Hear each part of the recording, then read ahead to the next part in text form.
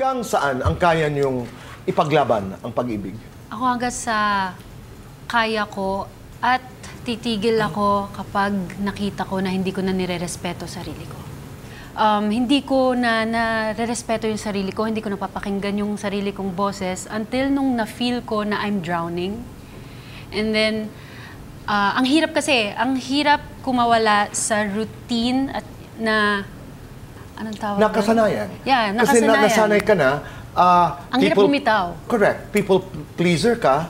Tapos, ah, nandun ka pa sa ah, ayaw mo makasakit dahil you don't wanna be different. Tapos, may barkada or may mga set of friends ka pa na sunod ka lang ng sunod. You can get lost. I Yes. like the word. Nalunod ako. I was Yes. drowning. na-feel ko yon. It was just recent, parang two years ago lang. And sarili mo lang yung makakatulong sa, sa, sa'yo. Yung realization na yun, Yes. ah, Thea, ikaw ang nakarealize na, teka muna, hindi na ito tama. Yes, kasi nakaka-feel ako, ina-anxiety ako. Pagkagising pa lang, may palpitations ako na-feel. Tinry ko pang pumunta sa Tagaytay for a wellness uh, overnight staycation para lang sa sarili ko. Tapos yun nga, na-realize ko na uh, I'm always doing things for others. Yeah. Bakit di ko naman tulungan sarili ko and step up and say no? Pero pagdating sa relasyon, anong pagkakataon ang masasabi mong, teka muna, hindi ko na nire-respeto ang sarili ko?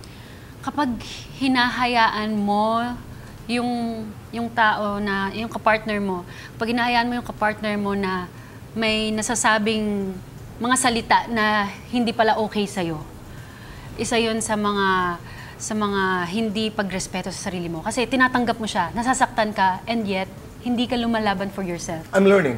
And you have to express it. Yes. You have to let your partner, you have to let your girlfriend, boyfriend know Yes. that what you're saying is not okay. Yes. And it can be said better. Yes. And I would safely assume uh, na hindi ka magto-tolerate ng physical harm.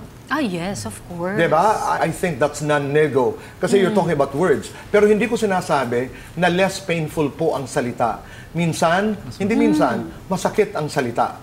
Masakit ang saktan ka physically. Yes. But these are non-negotiable para sa iyo. Hanggang saan mo kaya ipaglaban ang pag-ibig? Kanina na pag-usapan namin kasi ni Thea, yung ah, basta, ang sabi ni Thea, alam mo na na hindi ka na nire-respeto. Ah, ayoko na. Ikaw. Sa akin naman, pag yung like toxic na talaga yung relationship. or- What is toxic for you? Sa akin, yung toxic, yung part na yun na hindi nire-respeto and isa pa dun yung parang wala nang time sa'yo. And Oh. parang mas gusto niya gawin yung mga gusto niyang gawin and Not necessarily bangayan ng bangayan ha. Ito yung walang oras walang sa'yo. oras na sa'yo. Yun naman sa'yo ang toxic. Toxic. Sino ang mga pinakamalalaking kontrabida sa inyong mga relasyon? Communication Yun. ang kontrabida. Bakit? Saya. Um, in any form of relationship naman po talaga, mahirap talaga ang communication. Kasi, syempre, you're dealing with another person na iba yung ugali, ah, iba kung paano sila lumaki. So, halimbawa ako, someone who's ah, in this industry na ma-vocal sa expressions ko, sa mga ah, emotions ko, and then you meet someone na hindi ganun yung kinalakihan, ang hirap kasi mafe-feel mo na parang hindi ako tinotrust, then mag-overthink ka na and everything. So, I think ah, sa kahit anong relasyon, kailangan talaga na matutunan yung proper communication.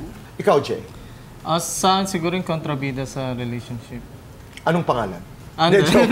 Wala pa dito. Siguro yung mga nakapaligid din. Siguro mga like... Kasi syempre, Mga nakapaligid na ayaw ka.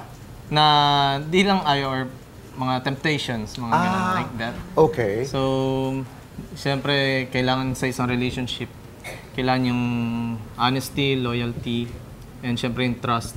And So, love.